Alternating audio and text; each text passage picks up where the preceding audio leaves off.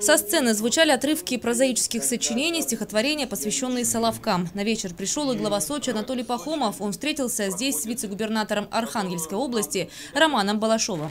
Эту практику мы продолжим. Я думаю, что мы сделаем серьезный календарь мероприятий. В общем-то, такой культурный обмен станет системный. Мы должны у себя в Архангельске видеть, что такое юг России, да?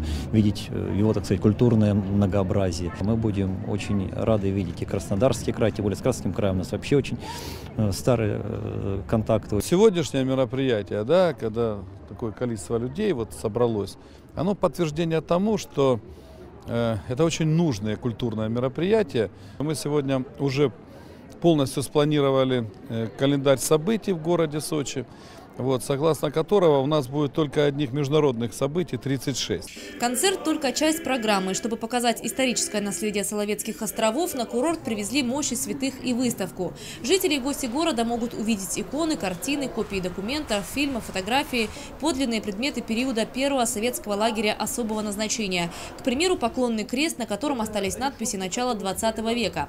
Экспозиция Соловецкого исторического наследия уже побывала в Москве, Санкт-Петербурге, Архангельске, Нижнем Новгороде, Саратове и Петрозаводске. Напомню, выставка открылась в художественном музее еще 9 мая и должна была закрыться 27-го.